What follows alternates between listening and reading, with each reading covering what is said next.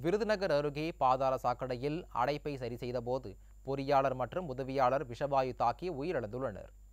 ராஜபாளையம் நகர் பகுதியில் பெரும்பாலூரைச் சேர்ந்த இன்ஜினியர் கோவிந்தராஜ் திருவண்ணாமலையைச் சேர்ந்த உதவியாளர் ஜான் பாதாள சாக்கடை அடைப்பை சரி செய்ய முயன்றனர். அப்போது விஷவாயு தாக்கியதில் இருவரும் மயங்கி விழுந்து சம்பவ இடத்திலேயே உயிரிழந்தனர். உடல்களை மீட்டு உடற்கூர் ஆய்விற்கு அனுப்பி வைத்து போலீசார் விசாரணை மேற்கொண்டு வருகின்றனர்.